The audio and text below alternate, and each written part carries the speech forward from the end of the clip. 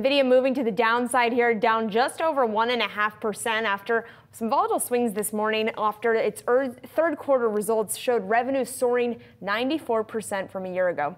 That was still a slowdown from the growth that we've seen in prior quarters. Joining us now to discuss, we've got Ruben Roy, Stifel Applied Technology Analyst. Ruben, it's great to have you on. Uh, we spoke with Dan Morgan yesterday over at Synovus Trust, and he called NVIDIA the poster child for AI and also the number one AI play in the semiconductor space.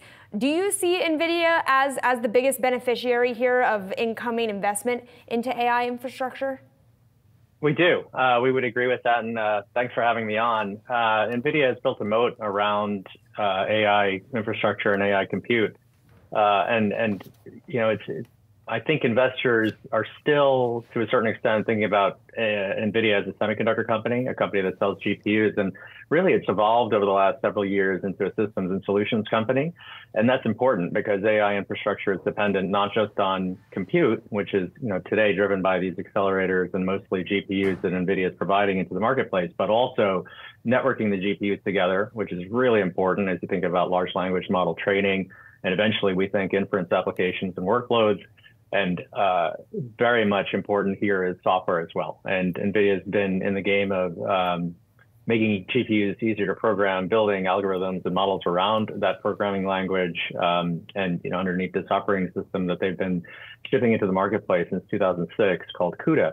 And when you put that all together, it is a, in, in our view, a, a very, very complex moat that is going to take years, uh, I think, to catch up to. And so as we see this massive invest investment cycle with cloud service providers increasing their capital uh, expenditure uh, forecasts every quarter, really, uh, to, to keep up with AI and demand for AI compute, and we think NVIDIA really um, flushes out as, as the biggest beneficiary. Ruben, how are you looking at the guidance? Because that clearly seems to be one of the things that the street has taken issue with. One of the reasons why we're down about 1% now in early trading. Is it safe to say NVIDIA is being a bit conservative at this stage?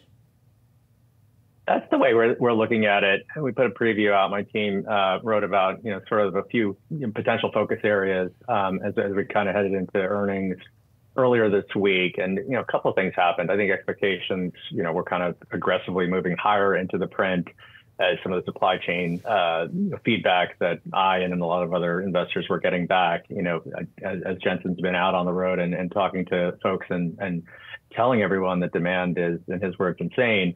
You know, I think that drove a lot of you know, kind of elevated expectations getting into the into the quarter, and so you know, with the guidance, as you mentioned, um, at, at 37 and a half billion, you know, I think, I think expectations were a little bit higher, 38, 39 billion, let's say.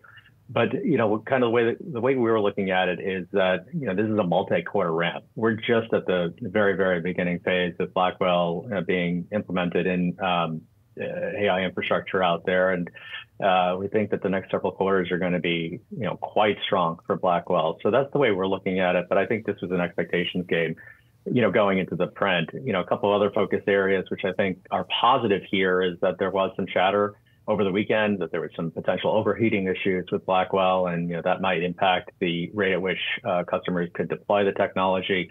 I think uh, NVIDIA did a great job on the conference call last night, nipping that in the bud, uh, kind of, you know, stating again and emphasizing the Blackwell is in full production.